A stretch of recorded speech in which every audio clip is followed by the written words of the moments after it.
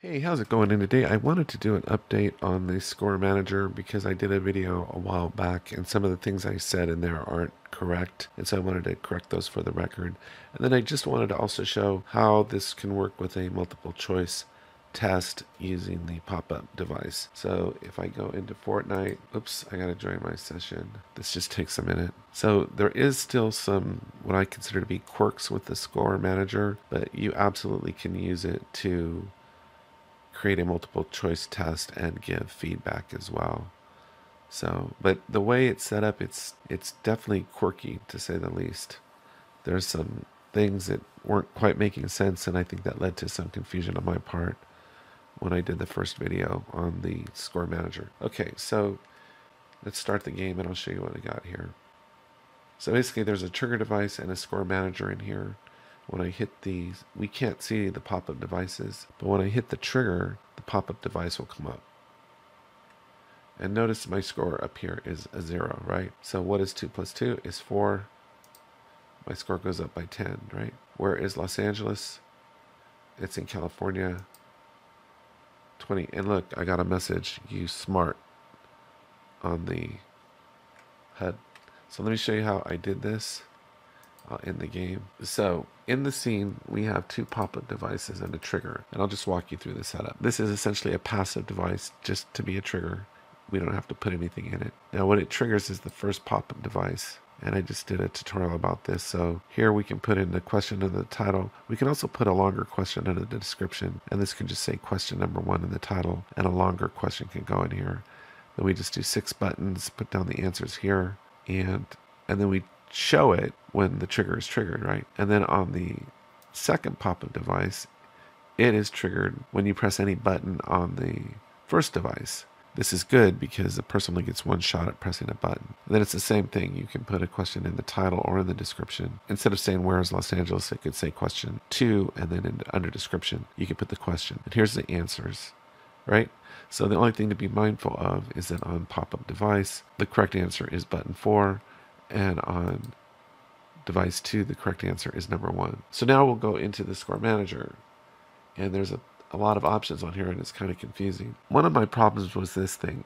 When you hover over the description it says what it is, right? It says awards this many points when triggered, right? If we put 10 in here, that's what's going to display up here. So it's kind of misleading because it makes it look like the person has 10 points when they don't have 10 points. I don't see any setting to turn that value off. So this score value thing, even though it says that's how it awards points, I have issues with that because it, it comes in with the points already showing on the screen. So like if I put if I put 10 on here, see how it shows 10? So if I if I don't know if I can push that change, yeah, I gotta push that change. So let me push that change just to show you. While that change is pushing, let me keep going. Some of these are very these are very straightforward. How many times can the the device be triggered? Five times. And now this is where it gets interesting. So where it says score change when activated, notice it says adjust the score by this much each time it is activated. If if increment score on awarding is on, increment score on awarding, yeah. So so if we check this, this means that every time it gets incremented, it's going to go up by 10. So the advantage of using this method, then down here we don't use activate, instead we use increment. So under increment, we go pop-up device, button 4. Then if the person presses that button, our score goes up by 10 points. So then on the second device, if they press button 1, the score goes up by another 10 points. And then the last thing is that's interesting on here. So let's go start game. I'll show you the issue. See if I put the score value in, see how it's already set to 10? That's the issue that we have. So it does increment, but that's an issue, right? So what you can do to get around that is just turn that to zero. This is what was messing me up. So we don't, and then we put the score award type to add. Activating anybody can activate it. If I was going to have five questions in here, the max number of times it could be activated would be five five times. Increment score and awarding, yes. So this is the same as this, except we're just doing it down here, where we're going to add 10 points every time. What's cool about this is that we can say send event on scoring. When you get the, the top score or whatever score you want the player to get to, then down here, it allows us to on score output. The score output can then be sent to a HUD device or something. So if you want the person to get to 20 points, then when they get to 20 points here, then send an event. So basically, this is your send event on, on scoring really should be your winning score is really what it should say. Instead of saying send event on scoring, it should say winning score. And so the winning score is like 20. And then on that, we can then trigger a HUD device to print a message on the screen. And that's what this is over here. So if I click on the HUD device, it says on score output of 20, the winning score, then display a message on our HUD device. So it's just a little, it's just a little quirky because of this score value, because I thought the score value was basically the display value, initial display value, and that's pretty much what it is but it also can be the value by which the score is incremented too. So if we turn this to zero, then our initial display value is at zero. And instead of using this option to increment our score, we use this this option down here, the increment score on awarding. And then we call it when they come over here to the pop-up device, you know, the correct answer button we do increment instead of activate. If we activate this to 10, the problem with using the score value is going to show an initial of 10 and we don't want that. So I just don't even use the score value. But if we did set it to 10, we could activate. I can show you this real fast. So, okay, so let's just set this to 10, right? And we'll put activate and we'll go to the pop-up device here and we'll set this to the correct answer is 4, right? Okay, and then we're going to go activate here. And on number pop-up device 2, the correct answer is 1.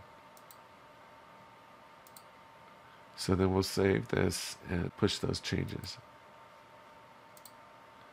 So we'll push those changes. So what's going to happen now, the score will be 10 points here and it's going to give 10 points here. So the when I get the first answer correct, it's going to go up by 20. And then when I do the second one, I'm gonna, this is going to give 10 points. And this is going to give 10 points. But the problem is the display value is going to be show 10 at the beginning, which is, I don't want that. I just did a tutorial about the multiple choice test and I said, you know, this is one example of how you can use verse, but I want to say that it's a, like a very specialized function you would use verse for, like some really kind of more intricate game logic or something, because it, using your imagination within existing devices, there's almost nothing you can't create. You just have to figure out how to wire it all together. So, so I guess you can build up anything. Okay, so we're ready to go. See how there it shows 10 right right off the bat? And I don't want that. But now watch. We trigger it. What's 2 plus 2? Well, if I get, once I give the correct answer, it's going to go up by 20 because we're sending an activate and we're sending an increment, which is 10 and 10. See, it's 30. Whereas Los Angeles, California, see, it went up by 50. And it says plus 30 correct, which I'm not even sure where they're getting plus 30 from. So the bottom line is the easiest thing to do is just avoid that score value. And so honestly, I think this device needs to be reworked where this is just like initial display value. So now if we just put zero here and then we get rid of these and we just use increment, not activate, I'll push those changes and, and then it works correctly. Let's see what happens here. And then you can you can also set this to display the message here. You said display score update on HUD. You can do that too, or turn it off. So I'm going to go to, this is set to increment, not activate. Zero, that's correct. I'll go to the trigger device. What is 2 plus 2? 4. I got my 10 points. Where's Los Angeles, California? I got my 20 points and my message. You smart. And the message, I don't know if I clarified that, is with a HUD device. So over here on the HUD device, we just set it, the score manager on the score output. But we can select the specific score output as the winning score, basically. So in my view, this needs to be changed where this doesn't say score value, but it just says initial display value.